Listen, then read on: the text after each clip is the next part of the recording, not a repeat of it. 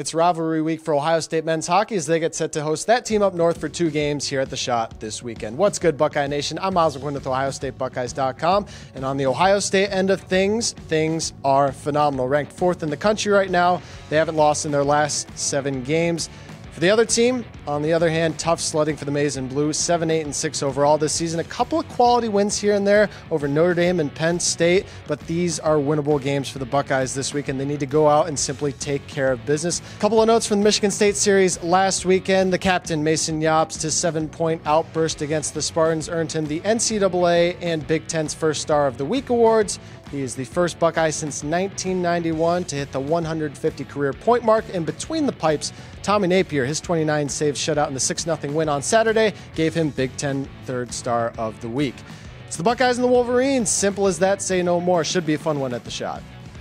I mean, it is the team up north, and um, you know our guys. Uh, they continue to give everything they got, and you know anytime you can step on the ice and you know hopefully get 9,000 people here, it, it certainly uh, it helps our guys. It's fun to be around. It's a great atmosphere, and anytime we can get as many students as we can out here, and obviously many fans, it uh, certainly is not missed by us.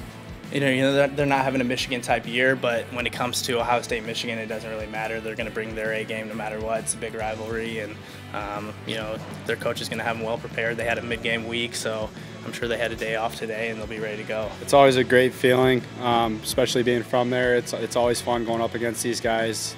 Um, even even when we play there, I'm only 10 minutes from there, so that's a lot of fun too. But um, them coming here, it's a it's a great time, especially after last year. You know, with the record we had against them, um, we're going to love to carry that again into this year and hopefully keep that going.